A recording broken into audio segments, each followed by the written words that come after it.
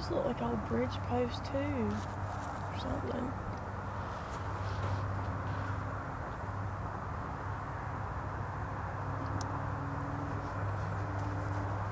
Those look like cement, not wood.